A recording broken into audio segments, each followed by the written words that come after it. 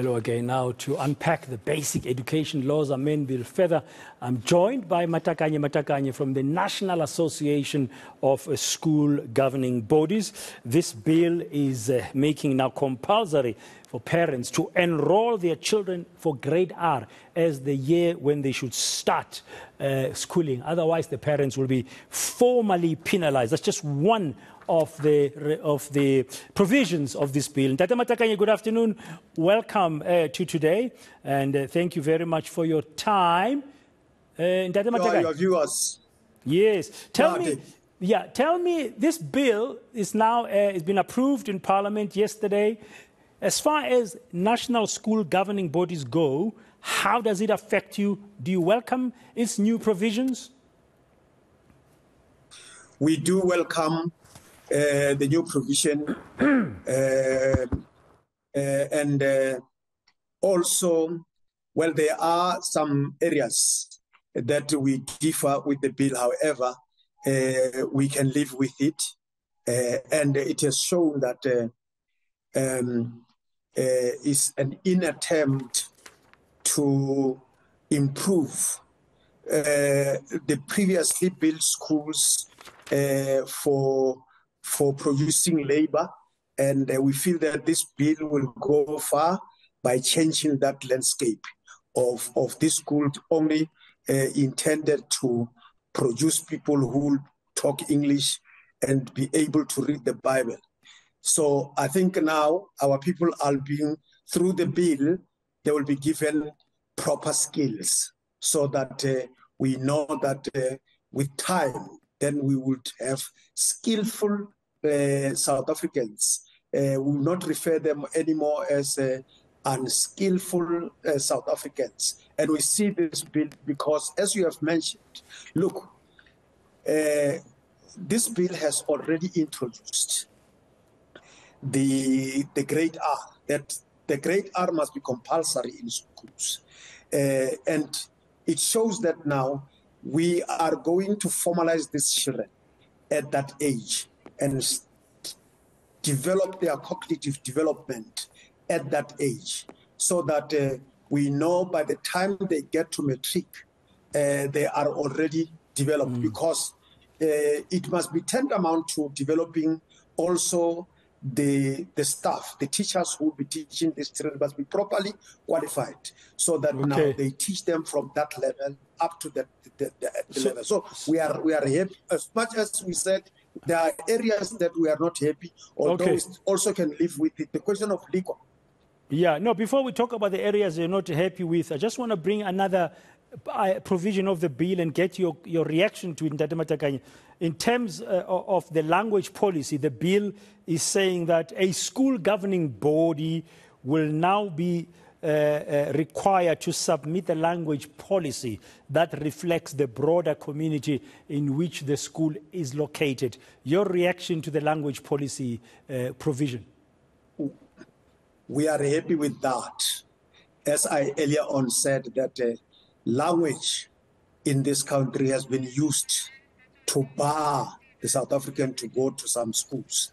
1994 uh, the ushering of democracy in this country, we really forgot about the separate development. You know, you remember the time of the Bantustans. Uh, people were divided according to the languages. So the advent of democracy in 1994 stopped that, that there's no more separate development in the country. We are one nation. Therefore, uh, we must recognize uh, all the languages equally. And uh, the Constitution, it's indicating that. But you see, in this case, where the bill is trying to break away uh, those communities that still feel mm. they are mm. living in the prior 1994. And we are saying, no, uh, this is not 1994. Uh, we have passed that stage of a language being used. And you know that uh, the language is a very sensitive area in this country. 1976, if you remember, and that one is that uh, this country was nearly banned, uh, but it banned, uh, banned because of language, and people were just emphasizing one language to say we we have to know one language, and these people were learning from the colonial masters because also the colonial masters built the schools, these schools that produce labor only for English and how to read the Bible. So we are saying uh, that time has passed. Okay. So we are welcoming this, this, this. We are welcoming the, the change of the, the tempering of the language with the the, the HOD must show to make sure that uh, the languages and Department of Education has also a policy that it talks about the Okay. gradual introduction of African languages in schools, but it does not take off that, that policy. Okay, and now, what are you unhappy about? What are the provisions you, as the governing bodies, are not happy with?